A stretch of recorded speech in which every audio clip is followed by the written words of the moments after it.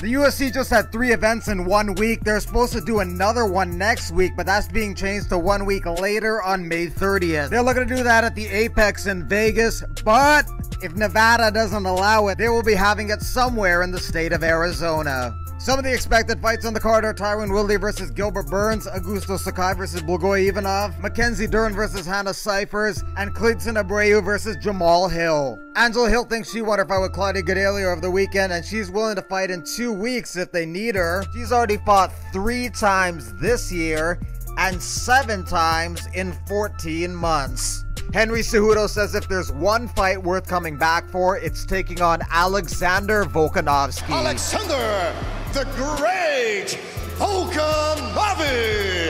Merab Dvalishvili says there's no way Song Yadong won that fight. Meet me next in the octagon.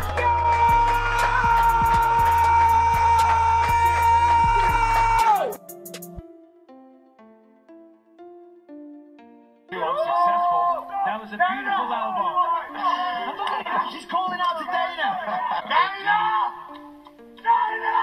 Come here. Come here. No, it's time out. It's time out.